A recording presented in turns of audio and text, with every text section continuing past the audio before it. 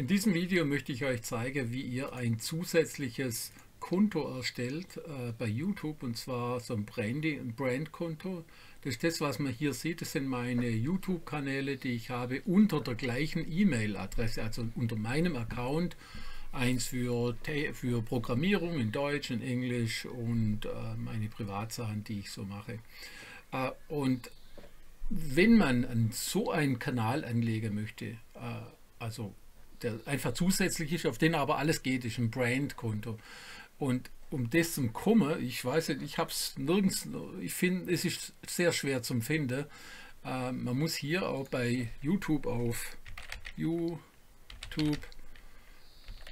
und dann auf front slash äh, channel channel switcher gehe. Also die Adresse bitte oben marke. Channel Switcher, dann kommt man auf diese Seite. Ich, war, ich müsste mal gucken, wie man da reinkommt. Und hier habe ich die Möglichkeit, einen neuen Kanal zu erstellen. Man sieht hier, das sind meine Kunden, die ich habe, meine Branding-Kunden. Und hier kann ich auch einen Brand-Kanal unter meinem Dings für. Und jetzt kommt auch so schönes Bild. Kanalname erstellen und jetzt möchte ich eins, eins in Englisch erstellen.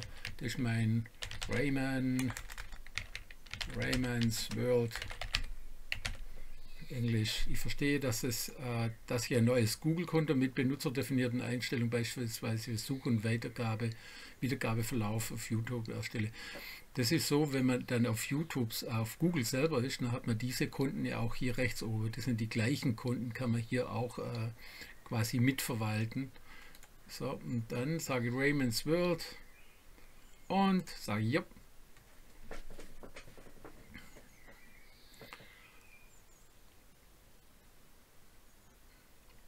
So, und jetzt haben wir auch dieses wunderschöne, jetzt sehen wir schon, dass wir hier im YouTube-Kanal sind. Und das sehe ich jetzt hier bei, bei den Wechseln, dass ich hier ein neues ein neuer Kanal habe. Um diesen jetzt anzugehen, geht man, äh, kann ich ja hier auf meinen Kanal anpassen gehen, kann hier meine Sache einstellen. Das, diese Section, diesen Teil, den merke ich mir auch hier immer, den ziehe ich mir hier rein, also den habe ich dann immer da und bin jetzt dann in meinem YouTube Studio. Das brauche ich hier.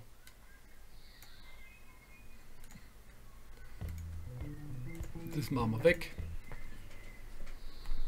Weitere Informationen will ich nicht woanders hinklicken. Das sind jetzt meine Videos, die ich hochlade. Hier bei Inhalte und bei Erstellen sind die neuen Sachen da.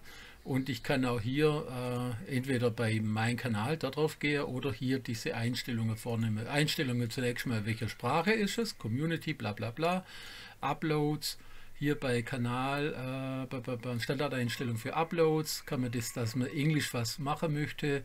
Äh, und dieser Kanal ist natürlich am Anfang auf, der hat null äh, User, ähm, Abonnenten. Das dauert natürlich, bis der dann äh, monetarisiert werden kann. Also es gilt auch für den, dass man den erst monetarisieren kann, wenn man, äh, wenn man 1000 äh, User als Abonnente hat. Wichtig, wie gesagt, war gerade eben, dass man dieses auf youtube.com Channel Switcher, dass man dort diesen Eintrag findet und den dann äh, hier anpassen kann.